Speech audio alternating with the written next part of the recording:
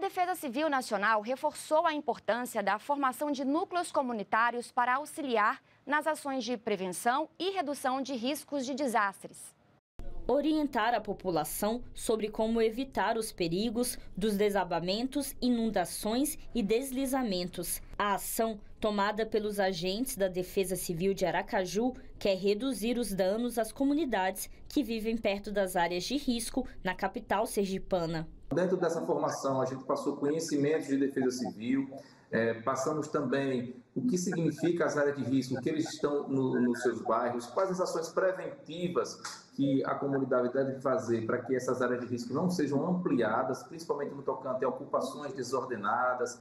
As orientações são repassadas por meio dos núcleos comunitários de proteção e defesa civil. A equipe ensina ao morador como mapear locais perigosos e a não jogar lixo na rua para proteger o meio ambiente. São pessoas que moram nas comunidades e que têm o conhecimento e a vivência nas áreas de risco. Né? E aí eles têm como contribuir para a sua comunidade que, que estão inseridas, né? E da colaboração.